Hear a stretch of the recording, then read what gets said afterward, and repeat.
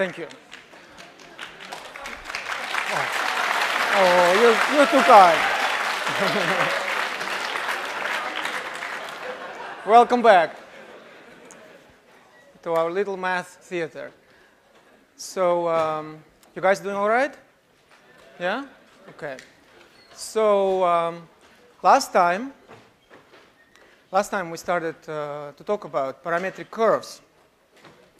And today we will continue. Um, we will continue with this topic. And um, we will learn various, various important um, things about parametric curves, such as tangent lines, um, arc length, and various areas of, of uh, surfaces which are obtained from parametric curves.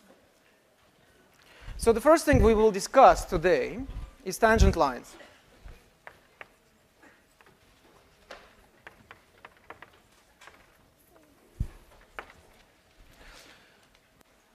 And uh, this is actually very easy to introduce. This topic is very easy to introduce because this is something familiar from single variable calculus. In single variable calculus,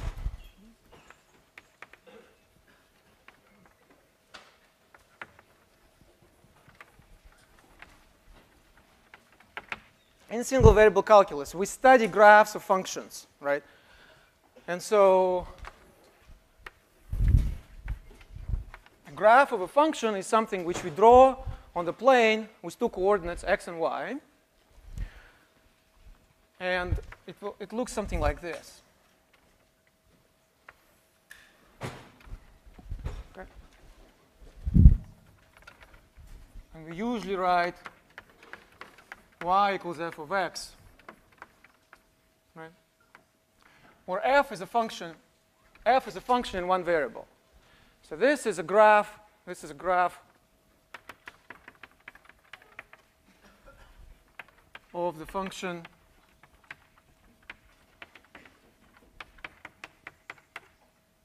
f of x. So now, oftentimes, oftentimes in mathematics or in science and engineering, you want to know various approximate results about your objects. Your, your object may be too complicated, um, and you want to get sort of the first order approximation, as they say. Or it might be that just you want to understand it qualitatively. For example, let's say if this is the graph of the temperature in Berkeley, California, where x is the time. So let's say over the last week, you know, actually would be more like this, I suppose. It's very hot last weekend, right? So then maybe you don't want to know exactly what the graph looks like, but you want to know, for example, the trends. Does the temperature increase? Does it decrease? Things like that. And for this, it's very useful to find some approximate tools, which would, you know, you'll be able to say a lot of things about your object without really, you know, getting 100% of the information about it. And tangent lines is the first thing that you, you can use for that. And the reason is very simple. The reason is that out of all the curves that you can draw, out of all the curves, so this is, one, this is an example of a curve, but of course you can draw many more very complicated examples. I mean, circle and so on goes without saying, but even kind, kind of really wacky curves you can draw, right? Anything you want to, to draw, like uh, a Picasso, you know, it's also, it's also a curve, right, oftentimes. He oftentimes just drew it in one stroke. So out of all of these curves, there's a whole variety of those curves, and they're very complicated. But there is a very simple class. There's a class of the simplest ones, and those are the lines. The lines are the simple curves, okay? So lines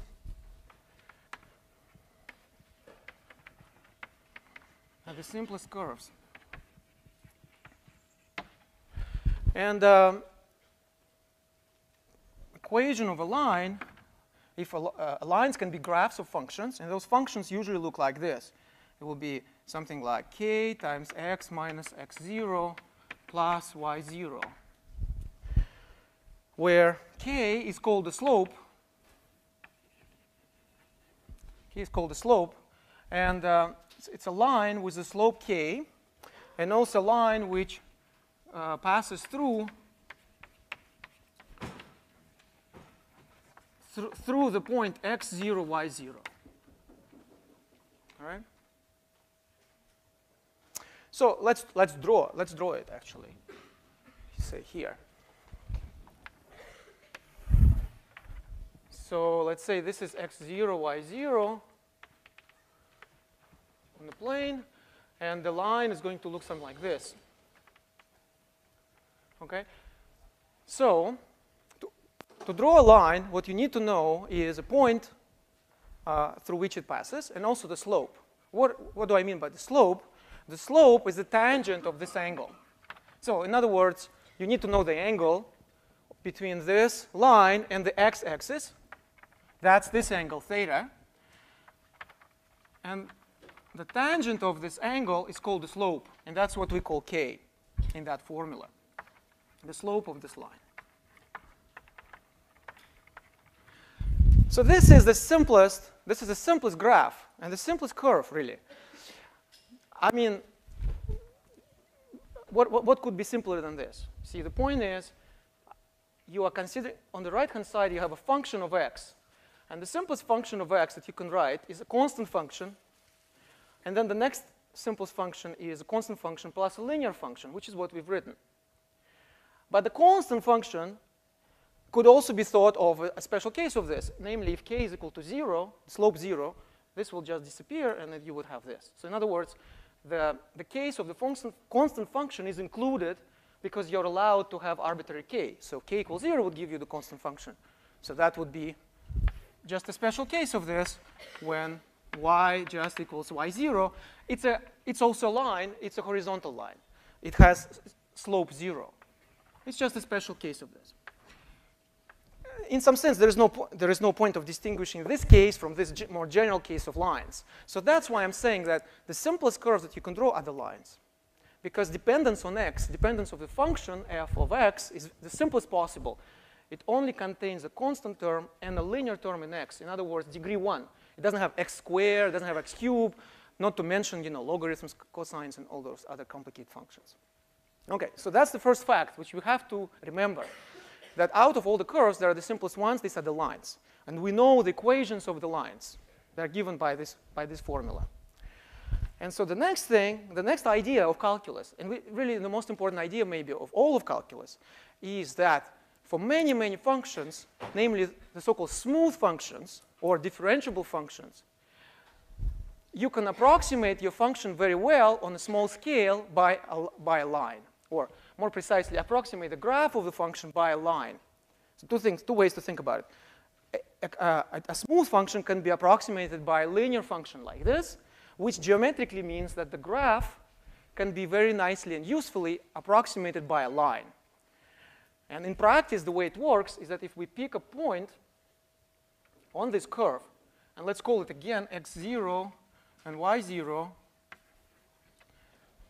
then we can we can think of a, a, whole variety of lines which pass through this point. There are many of them. There are infinitely many, in fact, infinitely many lines.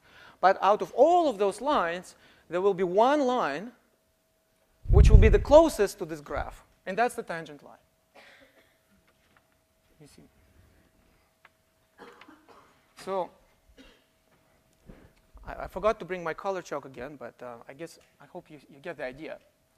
So this is this is the, this is the tangent line. And what's so special about this is that it is the closest one to the graph of the function.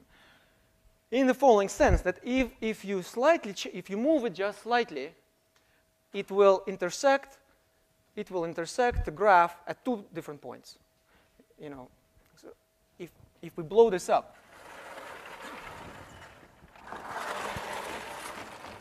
if we blow this up, it's going to look like this. I just blow up a very small neighborhood of this point, it's going to look like this. If I change it just, change it just slightly, you know, like this, it's, it already intersects it at, at two different points. So you just you adjust your line just so that it touches the graph at one point. That's intuitively what the tangent line is. Right? Tangent. Tangent line. The closest one, the closest of all lines to this graph, to this graph. at this particular point. If you change your reference point, of course, you're going to get a different one. In other words, here I'm talking about the tangent to this particular point, which is that point x0, y0 on the big picture. But if you, if you go on to a different place, if you go to a different place, here, for example, of course, you'll get a, an entirely different line. So when you talk about tangent line, you have to say tangent at which point. It, otherwise, it doesn't make any sense. Each point on the graph has its own tangent line, and a priori, they are all different. And in, most, in uh, almost all cases, they will be different. So this is not to say that this line can replace the graph of the function, because you see they diverge. If you go sufficiently far from this from this point, they become different. You know this expression going off on a tangent? Yeah? Sometimes you'll catch me doing that, I suppose. Uh, anyone is capable of doing that. And what it means precisely is that if you go off on a tangent, you will soon, soon enough, you'll be far away from the object itself. But the good news is that as long as, as you are in a very small neighborhood of this point, the difference is almost negligible. And this is the key idea of calculus, really. And uh, of calculus of single variable now, because we are talking now about functions in one variable. But you will see that the same idea will be applied very usefully also for multivariable functions. For example, if you have function two variables, you'll be approximating graphs by planes instead of lines, and so on.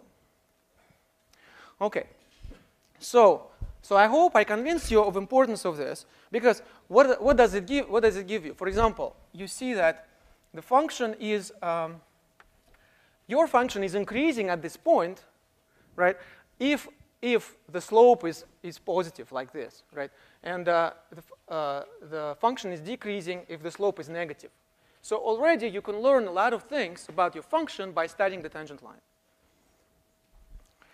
Now the next, next come, the question is how to find the equation of the tangent line. We know that it's going to, to look like this, right? Because, because all lines look like this. More precisely, all lines which are graphs of functions. They all look like this. So which one is it? In other words, we have to find the coefficient k, and we have to find this number y0, and we have to find the number x0. That's what determines the line. As we discussed, we need x0, y0, and the slope. But we already know x0 and y0 because that's the, the reference point. That's the point on the curve to which we look for the tangent line. So we already know, know x0 and y0. And the question is how to find the slope of the tangent line. k of the tangent line.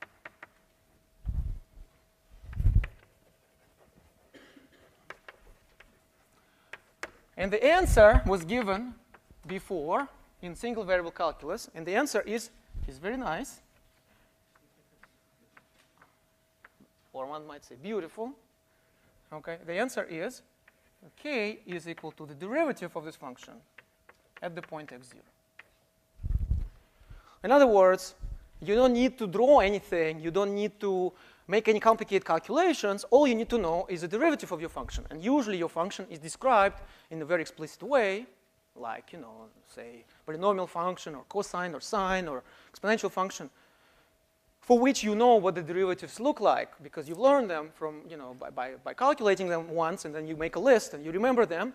So, so some, taking derivative is something which, which we, um, we know well, quite well, right?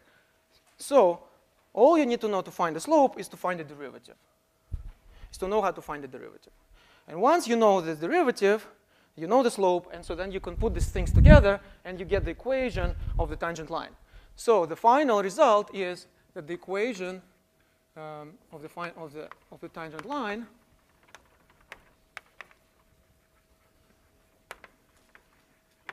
is just obtained by combining all this information, right, into this formula. So instead of k, you will put f prime of x0, which is what I wrote here, right? And then you have x minus x0 plus y0. That's the equation of this tangent line. No matter how complicated your function is, the equation of the tangent line is going to always look like this. Now, Of course, I am cheating a little bit because all of this is applicable to functions for which the derivative exists in the first place. And not every function has a derivative. These are the so-called differentiable functions. But the functions that we are going to study in this course, they are going to be differentiable. And so, so this method will apply. So you have to realize that this is something which works in some sense for the nicest possible functions, namely differentiable functions or smooth functions, if you will, the ones for which the graph is sort of a smooth curve as opposed to a curve which has angles, which has sharp angles. Because if you have a sharp angle, it's not clear how to make a tangent line, right?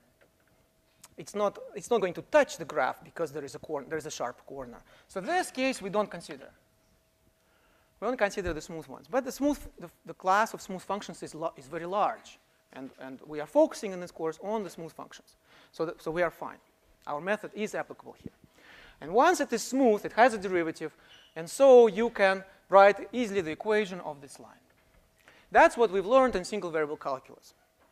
Now, in single variable calculus, you study graphs of functions in one variable, which are curves on the plane. And last week, we talked about more general curves. We said, okay, there, is a, there are many curves which you can get as graphs of functions, but not all. There are more general curves which are not graphs of functions, and there are two ways to represent them. One is by an equation, like x squared plus y squared equals 1, like a circle and radius 1, or in a parametric form. Okay, so that, that means that we have now a larger class of curves, which includes but not is, equal, is not equal, is bigger than the class of graphs. So now we'd like to ask the same question about these parametric curves. In other words, we want to learn how to compute the tangent line to such a, such a curve at a given point. So that's the question that we are, we are going to ask.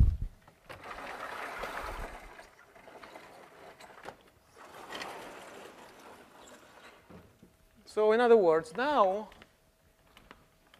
we have a parametric curve, parametric curve,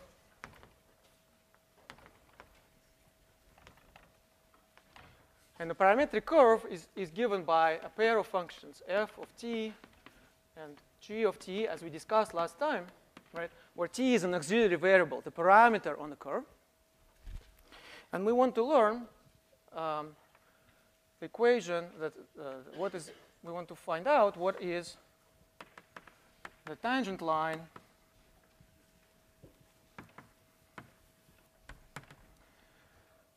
to, um, to this curve at a given point.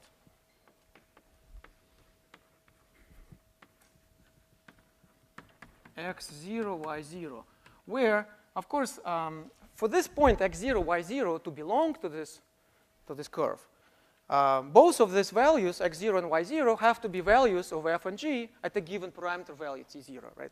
So that would have to be f of t0, and that would have to be, y0 would have to be g of t0. For some t0, some value, we'll, we'll look at examples uh, in, in a bit. So you'll see what I'm talking about. Okay? So what is a tangent line to this curve? In other words, we would like to extrapolate this formula. We'd like to generalize this formula, which, by the way, is the way mathematics is done. You know, you, you don't immediately get the answer in all cases. You, may, you work out the simplest case, and then you try to generalize. So if you look at this formula, it may, the answer may not be so obvious because the, here this answer involves this function f, which, um, you know, because we're talking about the graph of a, of a function, which is really the special case, special case of the, the general parametric curves in which the parameterization is x equal t and y is equal to f of t. You see. This, this shows you right away how special this case is. How special? Well, it's just that x is t and, and y is some function. Because if you, if you have this parameterization, then the first equation tells you that x is just t. So you can just substitute x instead of t, and you get y equals f of x. You get the graph of the function. So in other words, in this special case, the function f, f small, f small, is just the function t. And the function g small is another function f capital. And now we have a more general case where both f small and g small are some complicated functions which are not necessarily equal to t or anything, or anything uh, given in advance. So we need to generalize this formula, and it's not obvious immediately what the answer should be because it really appeals to this particular case, to this very special case. But it's actually not so hard to guess the answer. But to guess the answer, we have to remember how we derived this formula in a single variable calculus in the first place. Okay? And actually for that, I will use, I will use this picture.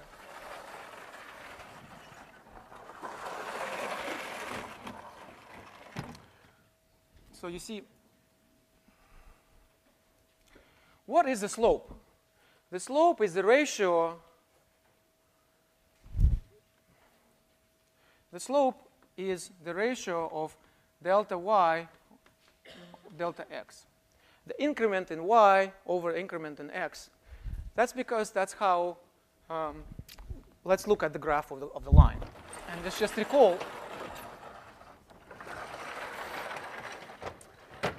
let's just recall uh, the definition of a tangent. Because remember, k, I said k is a tangent of the angle. So what is tangent? Tangent, when you draw this triangle, is the, is the ratio of the change in y in this triangle over the change in x.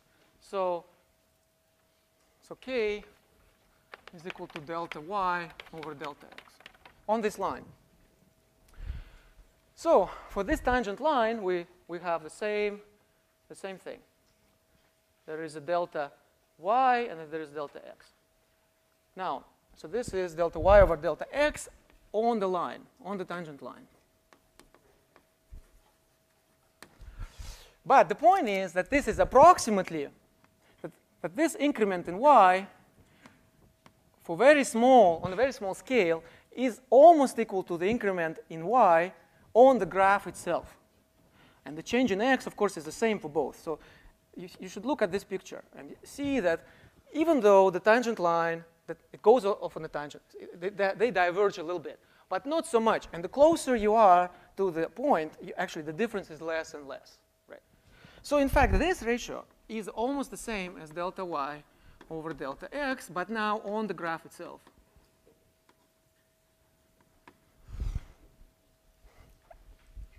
And uh, so the slope can be computed as the ratio of the increment of the function delta y, this, this, this one, to the increment in x. Right? So in other words, this is delta y on, on the tangent. Right? This is delta y on the tangent. And this is delta y on the graph. And they're almost the same. So the slope, for this computing the slope, we might as well take delta y of the graph and divide it by delta x. And when this becomes very small, when delta x becomes smaller and smaller, so you are getting closer and closer to the point, this becomes what we call the derivative, dy dx over dx, which is f prime.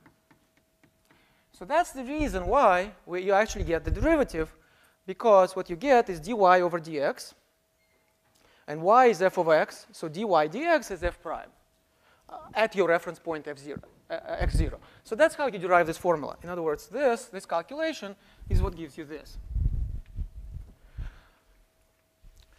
So now we can use the same, the same formula because we have worked out now the formula for um,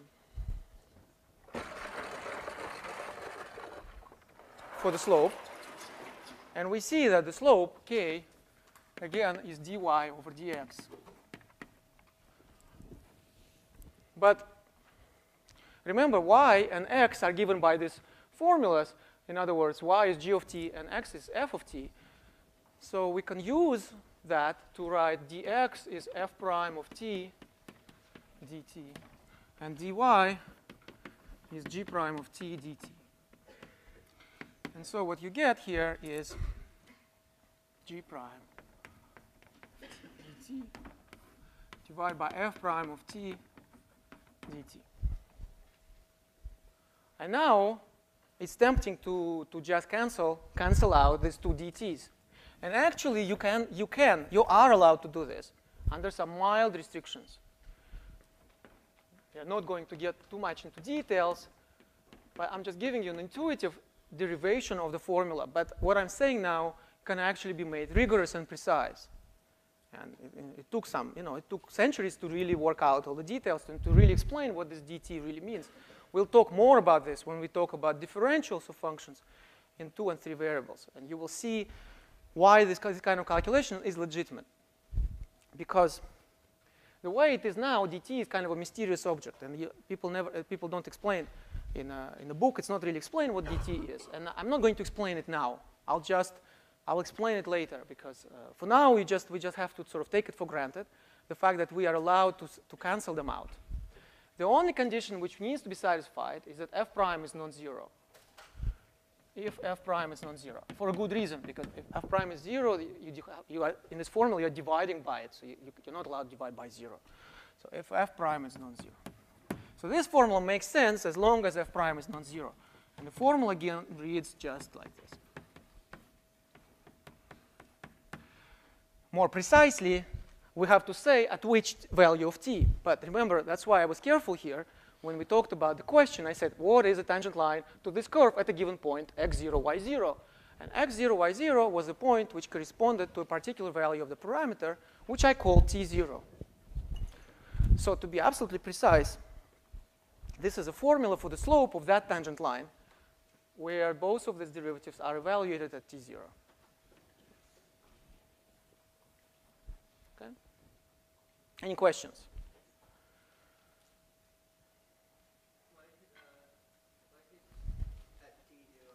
Why is it uh, at t0? Because we are calculating the slope at a given point, right? And the point on a parametric curve, a point is determined by the value of the parameter. So, because here, I'm sort of writing all over the place, but here, this is the answer to the question which is written in the opposite board, where t0 is introduced. So you have to, you have to look at both of these. All right. So let's see. Um, what do we want to do with this? Okay, let's uh, let's do let's do an example.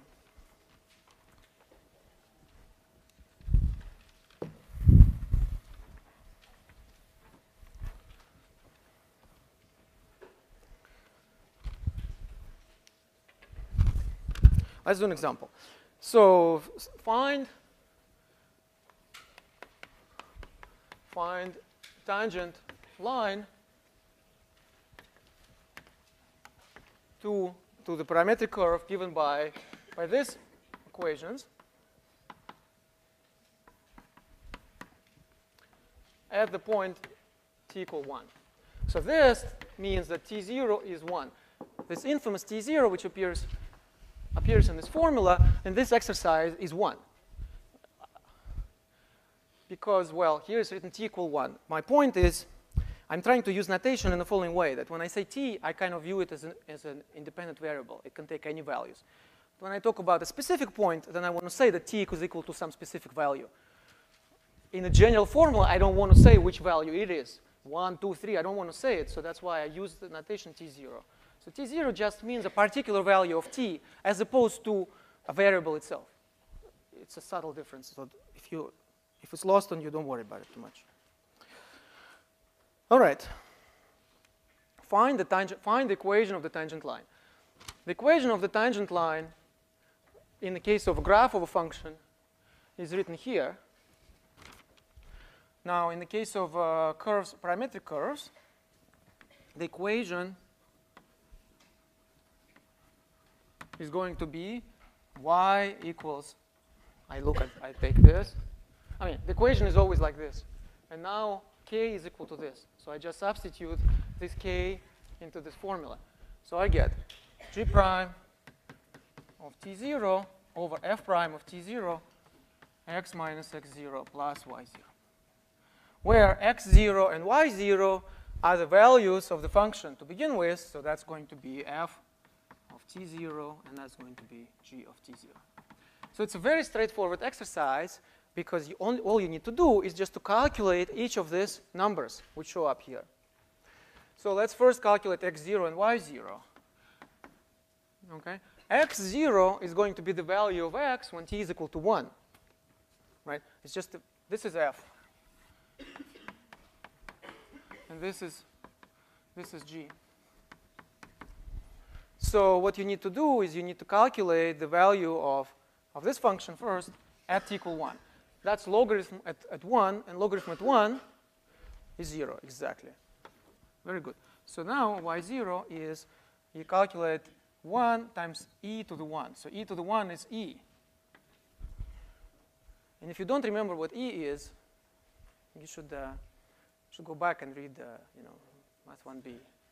It's a, it's a particular constant which is defined by the property that the derivative of this function, e to the t, at t equals 0 is equal to 1.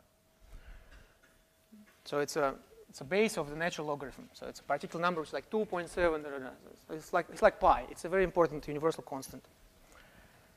So I, I on purpose uh, chose this example to, because you know in, in the homework you will you have to deal with this constants like e and things like that. So you have to get you have to remember them and get used to them. Okay, so it's a particular e is a particular number. It's not a variable. It's a particular number which is equal to I don't remember exactly, but I think some like seven, eight, eight, one, whatever. Or maybe I shouldn't write it because uh, if it's not correct, I uh, kind of make fool of myself. All right. So, okay, so we found x0 and y0. That's great. And next, we need to find the slope. So for that, we need to find the derivatives of this. So f prime of t is 1 over t, right? And g prime of t. So again, if you don't remember how to differentiate logarithm, you have to remember it because this is something, this is something from single variable calculus. And we are going to use these results freely. We are using everything we've learned so far, which means single variable calculus. In particular, we have to know derivatives of all these functions and all the rules how to calculate derivatives like this. So g prime, you use the derivative of the product. So that's going to be e to the t plus t e to, e to the t, right? I'm sorry, plus. And now, if, you, if I want the value at t equals 0, at t0, which is 1, I'm going to get 1 for this one, and I'm going to get 2 right? And now I need to calculate the ratio between them. So let me just write above.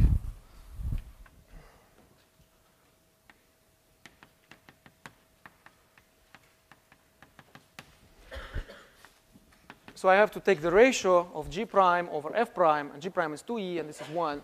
So that's going to be 2 times 2e. And then I have x minus x0, which we found is 0. So actually it's going to be 2e times x plus y0, and y0 we found to be e. So that's the answer. That's the equation of the tangent line.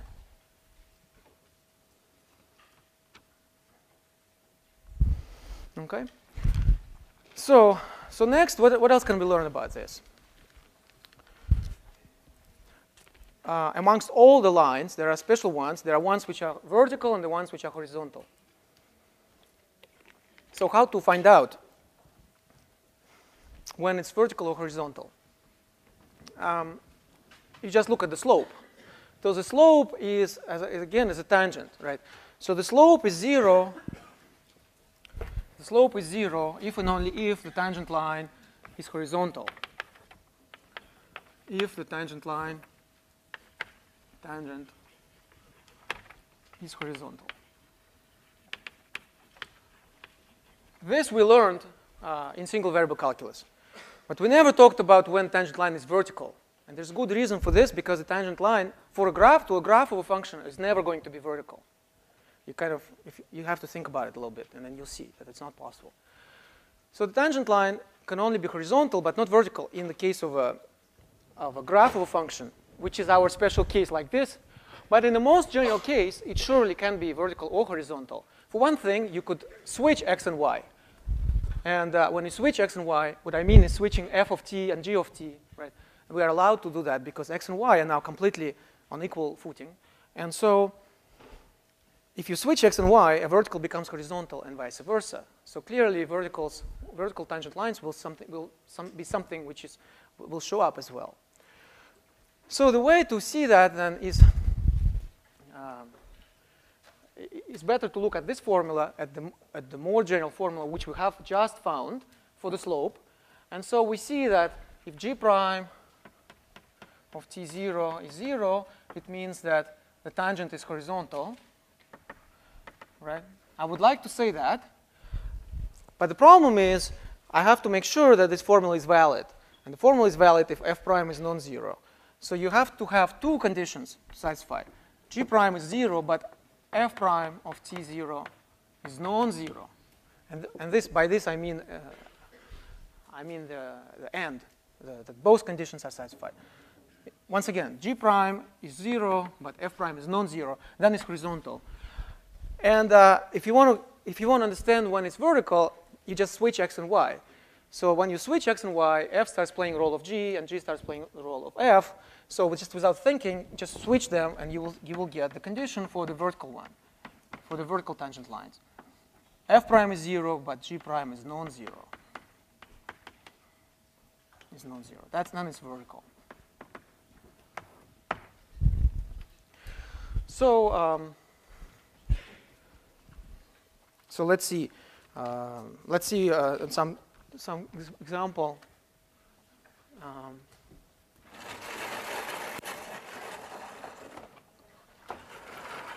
when tangent lines are vertical or horizontal. How to find out? See, the problem is if both of them are zero, you're kind of dividing zero by over zero. And that's really not well defined. So it really depends on the situation. It could be, um, it could be anything. So it really depends. You have to study it in more detail. But if, if just one of them is zero, but the other one is non-zero, then you can say for sure that it's vertical or horizontal, depending on which, which one is zero and which one is not zero. So example two. Uh, x is t times t squared minus 3, and y is 3t squared minus 3. I'm sorry, 3 times times t squared minus t squared minus 3.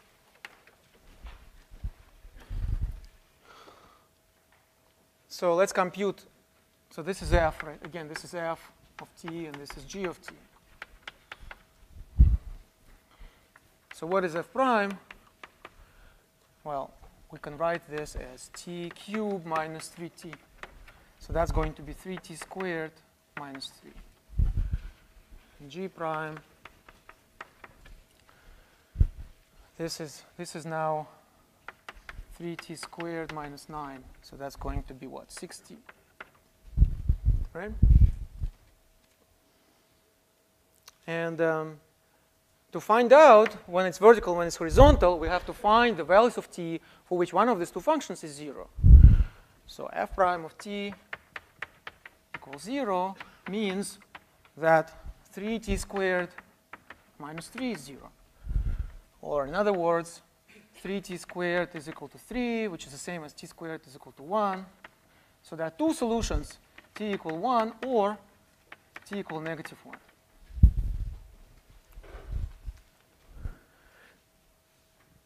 Okay, so for those values, f prime is 0. But to be able to say conclusively whether the tangent is vertical, we also have to check the values of the, of the other function, or more precisely, the derivative of the other function, right? So we have to substitute these two values into the other derivative. So we get g prime of 1 is 6. So non-zero, good.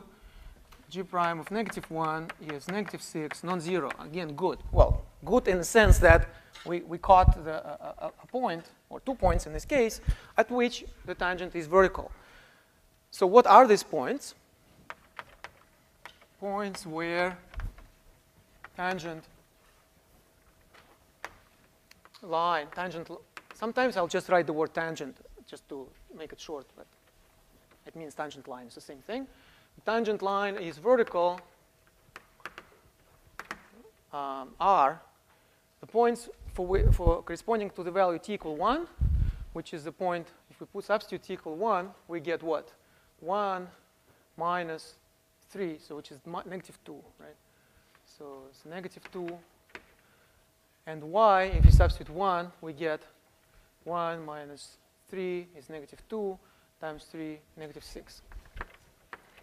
And the second one was when t is equal to um, the negative 1.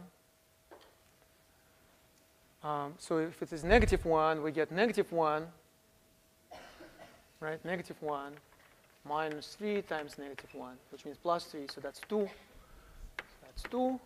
And here we put, here it doesn't matter because we square, so it's going to be the same, 2 and negative 6.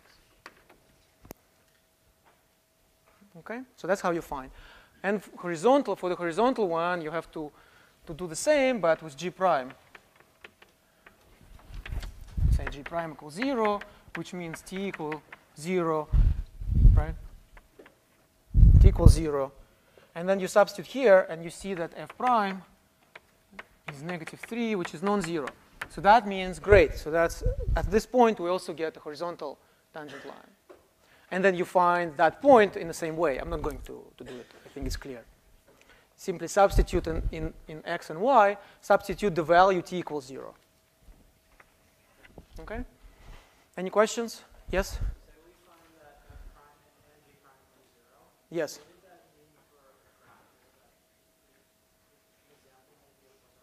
Right.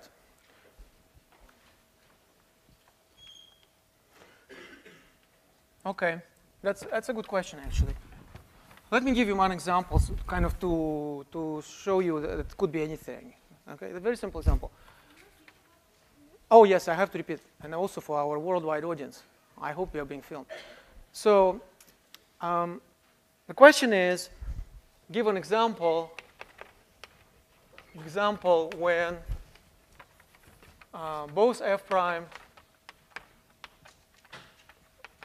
and g prime are equal to 0. And what does it mean geometrically? Okay. So, so let's do this. Um, so I want to find two functions which at a particular value of a point, uh, value of the parameter, have zero derivatives. Okay. And uh, the, simplest function which has which, which could have derivative zero is t squared. Not t because t, the derivative of t is 1, so it's a constant. It cannot be 0, right? t squared already has derivative equal to 2 times t, and if t is 0, that's 0. So let's say this is t squared, uh, t, t squared. And let's say that this one is also t squared. So in other words, what I mean to say is that x is t squared and y is equal to t squared. Right? So what does it look like? Actually, in this case, x is equal to y. So it looks like a line, right, which is kind of diagonal. In other words, the slope, the angle here is 45 degrees. The slope is 1, right? Because it's a funny thing, yeah. You, you say this is t squared and this is t squared, which means that x is equal to y, right? It's, like a, we are, it's almost like we are eliminating the parameter. But there is a catch, and the catch is we have to be careful what are the ranges of the variables, something which I mentioned at the end of uh, last lecture. Because the point is that for both positive and negative values of t, this is going to be positive or more precisely non-negative. Could be zero or positive. And likewise here. So that's why on purpose I didn't draw the entire line, but only half of it. So the image which represents this parametric curve is this half a line. And actually, then you have to be careful what are the ranges. I didn't say anything about the ranges. If you take just the positive ranges, positive values of t is going to be this. And if you take negative values of t, it's going to be the same thing. So it's actually, if you don't say anything about the range of t and kind of implicitly say that it's from negative infinity to positive infinity, then it's going to be this curve twice. You kind of come from, you, you, uh, you come from here and then you come back. And if you say, say, for example, t from 0 to infinity, then you are going to, to get um, just uh, this, this half a line once.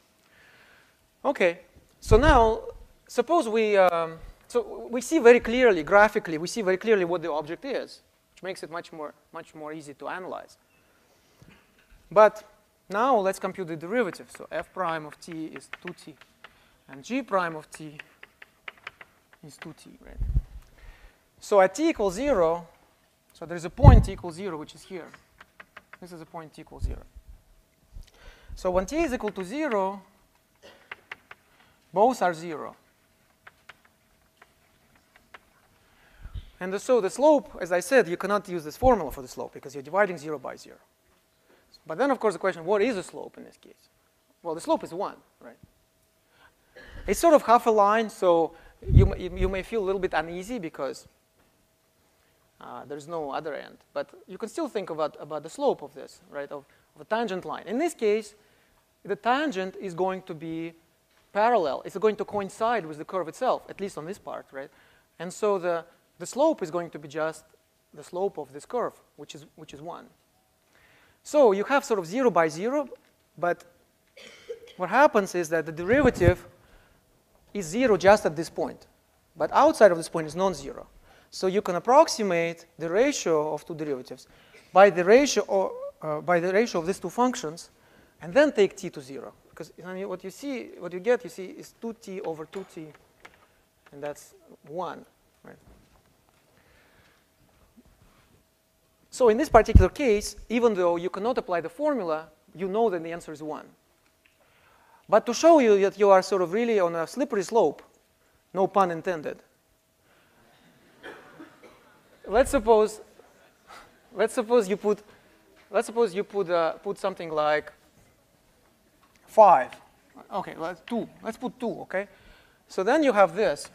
And so instead, it's going to be a more uh, sharper, sharper line, uh, a steeper line. Okay? So then y is going to be 2 times x. And this is y equal x, but this is y equal 2 times x. So for this one, the slope is 2, right? But the derivatives now are going to be 2t and 4t. So you see both again are 0, right? So, and, so, and you cannot use the formula because 0 over 0 is indeterminate. And the point is that even, even even though it's again 0 by 0. But now the answer is not 1, but the answer is 2. So that sort of illustrates that 0 over 0 could actually be anything. So in these two examples, it's 1 or 2.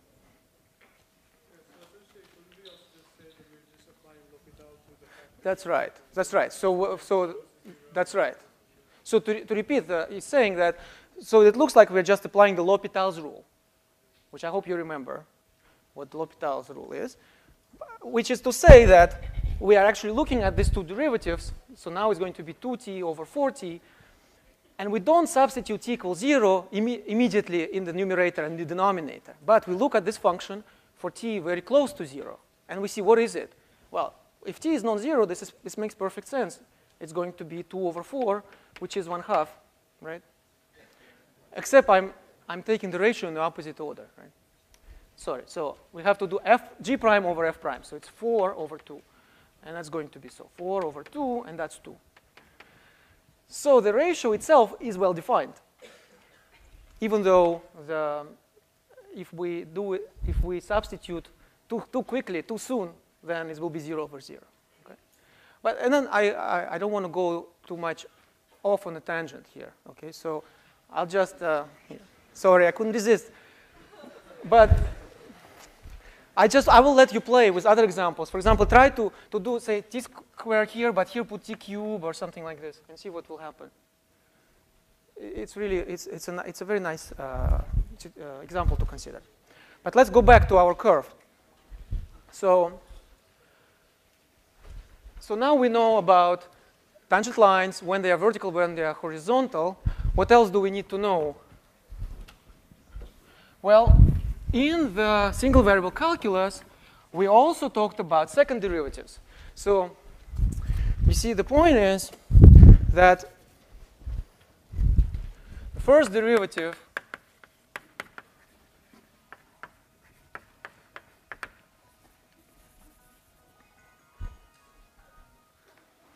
good music. All right, but uh, we're not here to listen to music, so should avoid this. Now, at least not during the, during the lecture. Uh, the first derivative is a slope. It's dy over dx. And it tells you the general direction of the function. If the slope is positive, it means that y is increasing as x is increasing. If, if the slope is negative, it means that y is decreasing as x is increasing. But, and oftentimes we, we call this the first order approximation. First order, now you can see why it's first order, because it's the first derivative. It's a first order approximation. And uh, oftentimes, it's also good to look at the sort of second order approximation. In other words, to look at the second derivative. And the second derivative is d squared y over dx squared, or if you will, d dx of dy dx. And that's something which tells us, if you think of this as the velocity, this is acceleration. It tells you the trend. In other words, whether, say, this function is increasing, but is it increasing faster as time goes by, or is it increasing more slowly? And the way this, is, uh, this uh, can be seen geometrically is from the concavity of the function. If the function is like this, it means that the second derivative is positive. We will call this concave upward. I, that's what it's called in the book. I'm actually, I'm not sure. I, maybe I would call it concave downward, but that's the terminology, so we'll stick to it. So this means concave upward, upward, and it means that this is greater than zero. And um, if it's negative, it's, it's concave downward. So it looks like this. So it gives you more qualitative features of the, of the, of the curve. So even if you cannot draw the curve right away, it tells you by calculating these derivatives, you will know uh, the ranges of parameters for which the curve looks like this, approximately, or like this. And there is a simple formula for this in terms of f and g, but uh, I will let you read the, about it in the book. It, it's very straightforward, so I, I don't want to waste time on this. Okay, so that's the, that's the other thing you need to know. In addition to the first derivative, which gives you the equation of the tangent line, you can also have the second derivative tell you about the qualitative behavior of the graph, kind of a second order approximation. Okay. So what are we going to do next? What we're going to do next is we are going to use to talk about other features um, of parametric curves. And uh, so far we talked about so far we talked about differentiation, right? So this information about the tangent lines is, has to do with the derivatives.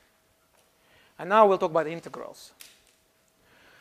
And integrals are not about the local behavior of the function like the derivatives, which tell us about kind of behavior of the graph on a very small scale.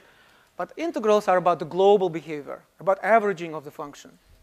In other words, about areas, various areas which are related to the graphs. So,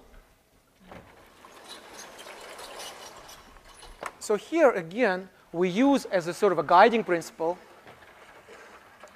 guiding principle, the material that we learned in single variable calculus, and then we generalize it to the more, more general parametric curves.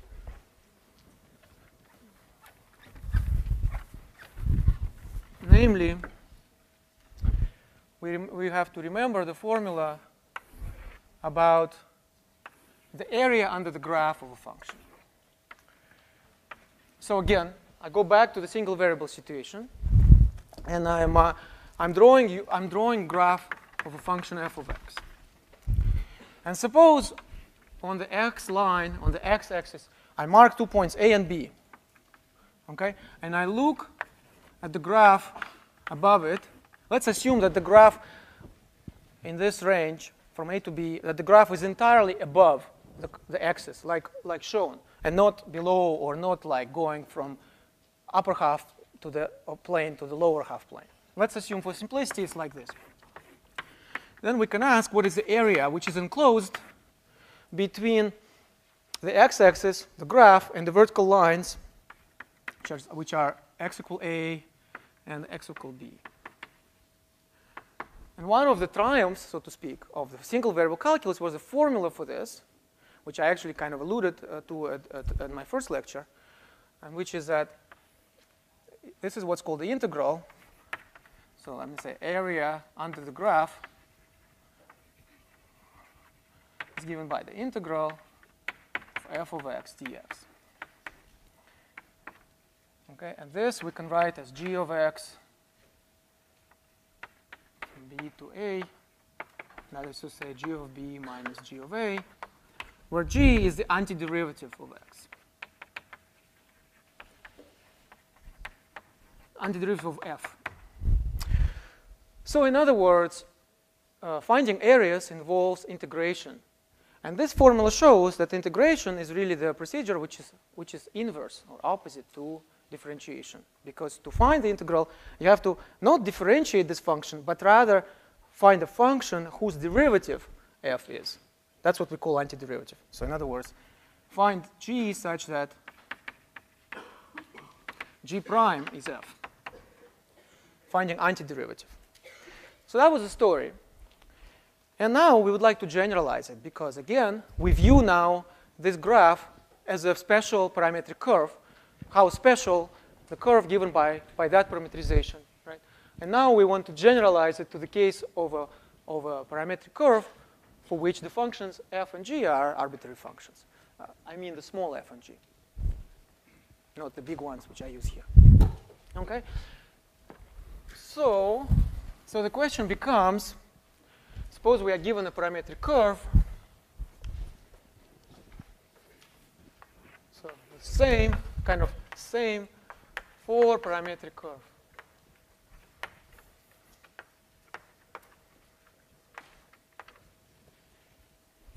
Suppose you have a parametric curve now in a, well, bad, bad drawing because it looks exactly the same as that one. So let me make it. That's the only one I can draw. I don't, I don't know, just a natural kind of a natural impulse. Okay, so let's say, and again we um, we pick some interval here from A to B, and we're going to ask what is what is this area. So in other words, now again, f is f of, of t, and y is g of t, and let's say t is between some alpha and beta, so that a the, this is x, right? And this is y. So I, I call them a and b. So what are they? If t is from alpha to beta, it means that a is f of alpha, and, and b is g of beta. But somehow a and b are not so important now. What is important is the values of the parameter t. Goes from alpha to, to beta. So now the again, you have to, when this kind of question is asked, you have to be careful to make sure that, that the graph is indeed above the, above the x-axis. And uh, after I write down the formula, we'll discuss briefly about what happens if it's not the case. Okay? Now, the question is to generalize now this formula. And so the, and it's actually very easy because another way to look at this formula is to say that it is, it is given by the formula. It, it, there is a way to rewrite this formula. We just have to remember that f of x is actually y. So another way to think about this formula is to just say that the integral of y dx from a to b. And so we can, now this makes sense even for parametric curves because x and y still make sense. So the area between let's just say, area of this, of this um, figure is going to be equal to the integral, again, of y dx. But the problem is that uh, the x and y are given by this as functions of a variable t. So at first, it looks a little bit like a nuisance. But, but then you have to remember that actually something we've learned before when we studied integrals, we oftentimes saw that it was beneficial to substitute a different variable instead of x. Oftentimes, in single variable calculus, to actually technically evaluate the integral to find the antiderivative, it was oftentimes useful to make a substitution and to say that x is some function of t, of some other variable. So let's just call that other variable t and say that x is equal to f of t. And then we had a formula for this, for calculating the integral in terms of this new variable t. Right? And what was this formula? Actually, it's very easy to, to write it if we just remember uh, how to compute the differential dx. So the, the main formula here is dx is equal to f prime uh, of t dt. That's what dx is. Yes?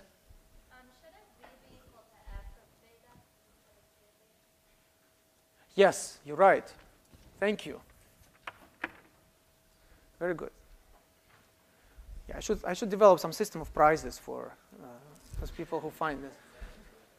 Yeah, extra points on. Uh, I'll think about this. But so you, you should be on the lookout because you know I can make mistakes. Sometimes on purpose and sometimes just because no one is perfect, you know. So in this case, I just made a mistake. So thank you for correcting me. Um, so this is a this is a formula we're going to use. So dx is just f prime of t dt, and y is g of t. Okay. So substituting the variable t here simply means using the old substitution formula, which would give us the integral from alpha to beta g of t f prime of t dt. And that's already a very nice formula, which now does not involve x and y, but only these two functions, f and g. And so it becomes a very nice formula because just as, as long as you, as soon as you know what the g of t is and f of t is, you, you can calculate the area. Okay? So it's, it's the same formula, but just generalized to this more general context of parametric curves.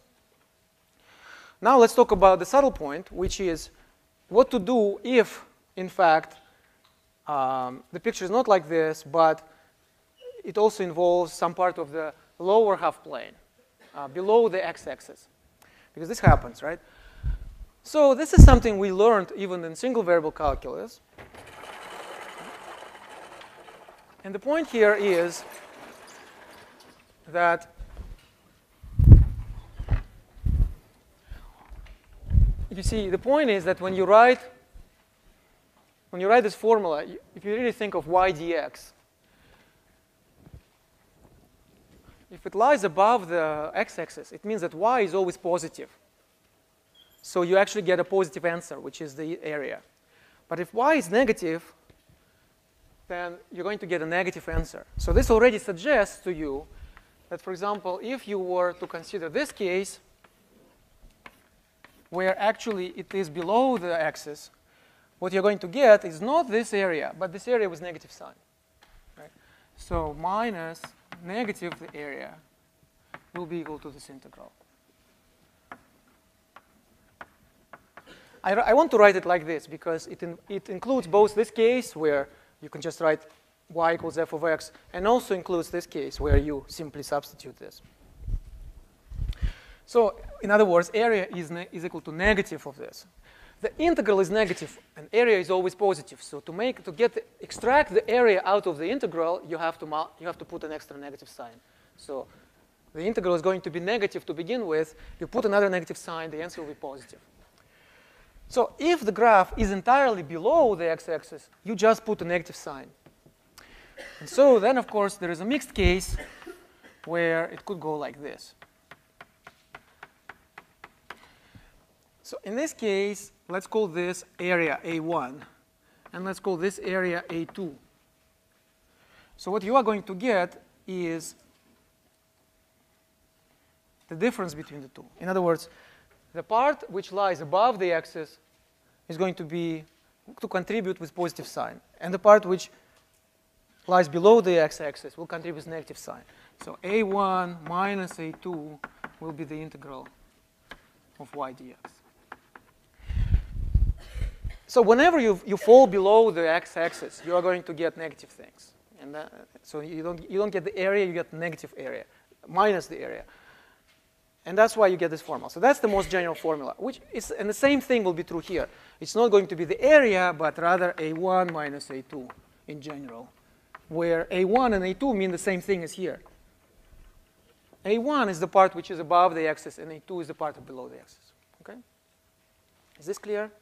Yes? What if the graph was double up on itself, and you took a line that went through the graph, like a graph plot? The graph doubles on itself. Okay. And you took like an area and you Oh, yeah, yeah, yeah, yeah. Okay. Well, that's like a doom, doomsday scenario. But so the question is, right? So, this is not like the this is not the worst case. You're right. So the, the there is a worse situation when it goes like this, right? And see the before when we studied graphs of functions, this could not happen. Could not possibly have happened because for each value of x, we would have just one value of y. But now, because we're doing parametric curves, anything is possible, right? So in this case, the point, the question, so what's going to happen is, which is, okay, so the, here there is a different, there is a different issue. In my formula, which I wrote here, I said t goes from alpha to beta. And so I put the limits like this. And I'm assuming that um, alpha is less than beta. So smaller value of t corresponds to smaller value of x, and bigger value of t corresponds to bigger value of x, right? So then you get this formula. What could happen is that, so in this picture, the curve is traversed like this. But if the curve were traversing like this, you would get the integral in which you will, the lower limit will be bigger than the higher limit. And we make sense of that by saying that you switch the limits, but you put a minus sign. So that's another way by which you could introduce a negative sign in, in these integrals. Namely, in the case when the left uh, endpoint corresponds to a larger value of t. Right? So if alpha is less than, this is alpha is less than beta. So alpha goes to A, which is less than B. Beta goes to B. But the other possibility could be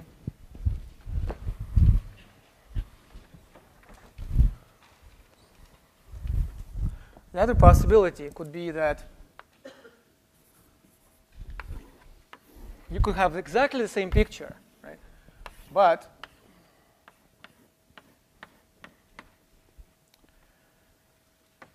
but now let's say I could change the parameterization.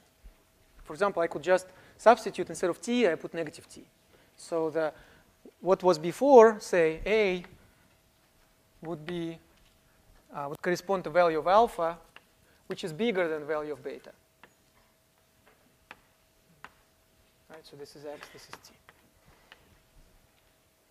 So then you will end up with an integral where this form will still be correct. It will be integral from alpha to beta. But when you, when you start calculating it, you will say, you will have integral, let's say, not from 0 to 1, but from 1 to 0. And then here you'll have, uh, you know, g of t and then f prime of t. So the rule is that this is the same as the integral from 0 to 1, but with negative sign.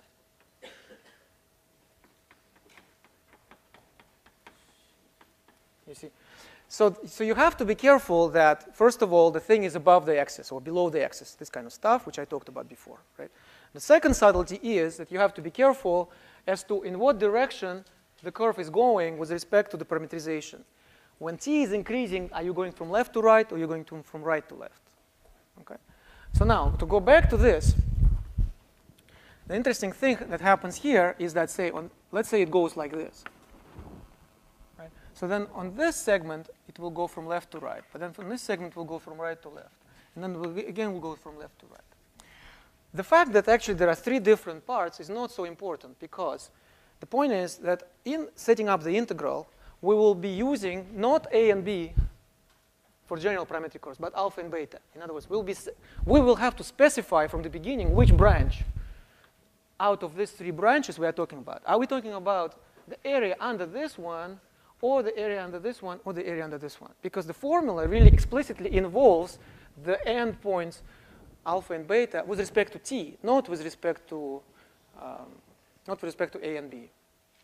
So usually, we would just pick a particular branch, and we'll just say, in other words, we will be saying that this is, this is t equal alpha, and this is t equal beta. And this segment will correspond to some other alpha beta, and this will correspond to some other alpha beta. Of course, in principle, you could say, what, what is the meaning of the integral when t will go from this value to this value? And this also is very easy to figure out. But at this point, we're kind of losing the geometric meaning of this, right? So we have a clean geometric meaning when we are talking about a branch which is kind of a, um, which doesn't double out uh, on itself, like you said, you know, but which just, uh, you have a single branch over the segment in the x, in the x line in principle, you could also do, you could also give an interpretation to the more general integrals, but you kind of lose the interpret geometric interpretation. So we will not do that. So we will consider the ones which have a more clear meaning like this. Okay? Does it answer your question? Okay. Any other questions? All right. So that's the integrals. And the last thing I want to talk about is um, um, is uh, arc length. So the other thing which is very interesting is to find the length of a segment of the uh, of, a, of, a, of, a, parametric curve. Okay. So only uh, less than 10 minutes, and, uh, and then you'll be free to go. All right. So let's just uh, the finish line. Okay. So, and uh, and I will be done all of the stuff is really um, is not so difficult. I mean, if you see, in each case, there is a formula. So what I'm trying to do here today is to kind of give you an intuitive understanding of the formula, kind of introduce the formula for you and explain why it's true. But once you know the formula, you basically just have to substitute. If you look at the homework exercise, most of them is just about substituting. There are a few subtle points, and one of the subtle points is the way when you do the integral, what exactly are you calculate, calculating? Are you calculating? So you, there are subtle points about the signs, which, like the ones which I mentioned here. But other than that, it's, it's, fairly, it's fairly straightforward. And likewise, what is also straightforward is, is the arc length.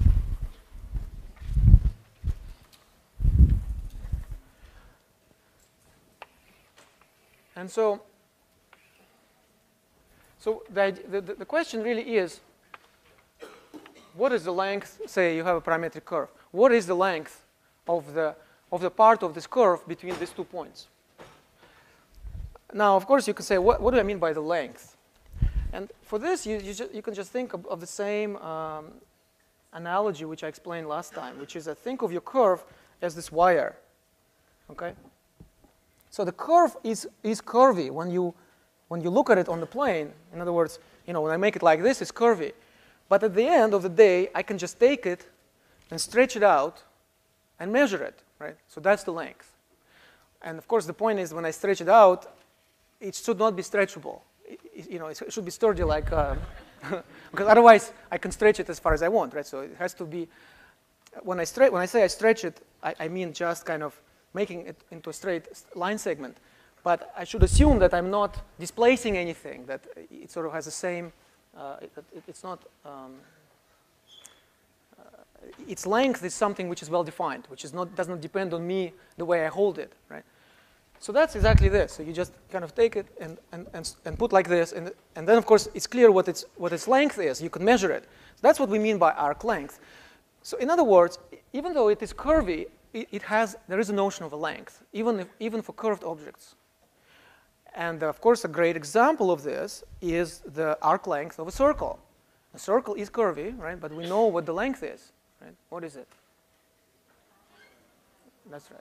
That's, there seems to be disagreement on that. yes? 2 pi, that's right. So, so the length of the circle is 2 pi, and that's, and that's how we, sorry? Circumference, that's right. 2 pi r, that's right. I'm thinking of a circle of radius 1, but if it has a radius... okay. I think now we are in agreement, right? Circle of radius r, the length will be 2 pi r. And in fact, so this is a very important, there's a very important constant showing up, which is called pi. And we'll talk about it. Have you seen the movie Pi, by the way? Oh, you should see it. It's cool. It's kind of cool. It's, it's one of those movies with a crazy mathematician, you know. But but it's a cool it's a cool movie. All right, so settle down. Now pi is a is this universal constant, which actually is defined by this property that 2 pi r is the circum circumference of a circle of radius r. So this is just a good example to show you that even though the circle is curvy, but there is some length, it has a length. And of course, the way you, show, you measure this length is you can think of a circle as being formed by a rope, which you kind of open up and stretch, and okay, and you can measure it, and you can see that it's 2 pi r. But even for more general parametric curves, we have the notion of a length, and we would like to calculate it by using these functions f and g. And there is actually a very nice formula which involves integration for this. And, it's, and, and the point is that the formula is also very easy to derive. And the reason wh why it's easy to derive is because we model everything on straight lines. As you know, today when I started the lecture, I said the simplest curves are lines. And to, to, to really understand various characteristics of complicated curves, we have to understand them first for lines, and then we kind of extrapolate, generalize to the more general curves, to the most general parametric curves. So if we had, if our curve were in fact a line, or a line segment, we would be able to find the length very easily by using the Pythagoras theorem. By using the Pythagoras theorem. So this would be delta x and this would be delta y. And the length would be the square root of delta x squared plus delta y squared. Right? So now we have a much more complicated curve here. But as we discussed earlier, no matter how complicated the curve is, if it is smooth or differentiable, it can actually be approximated on a very small scale. It can always be approximated by a line. Okay? So, small scale. So what it means is that we should, okay, if we just try to approximate the whole thing by a line, it's not a very good approximation. But we could break it into segments like this. And now each of those segments, each of the small segments, actually does look like a, an interval, a segment of a line. And so for each of them, you can have delta x and delta y. So, you know, so you, it, it will look something like this, or maybe on this side it will look like this. And then you would have, so this is just one, one of the segments which I blow up. I zoom on it, right? And so I have delta x and delta y. So then I have the, the length of this line segment, which is now going to be very, very close to the actual length. And so I'm going to approximate the entire length by the sum of the lengths of those line segments, is kind of like a snake-like picture, like, you know, and on each of the small segments I have an interval. And so at the end of the day, what I'm going to get is the sum, is the integral, which looks like this, dx squared. So it's going to be kind of like delta x squared again, plus delta y squared. But on the small, when in the limit, when, when those little pieces become smaller and smaller, it's going to be dx squared plus dy squared. And then what I'm going to do, I'm going to to put this. And this will be from alpha to beta. And then I can take this under the integral. And so what the result is going to be is that I'm going to have dx dt squared plus dy dt squared dt. So that's the answer. That's the formula for the arc length of the curve between the points alpha and beta, t equal alpha and t equal beta. And I have now given you a kind of very informal intuitive understanding of why this formula holds. It essentially comes from the Pythagoras theorem. So this was just a trick. I wanted to rewrite this. This is in a nicer way. So I just put this and I put this under. Okay? So we're out of time, so see you on Thursday.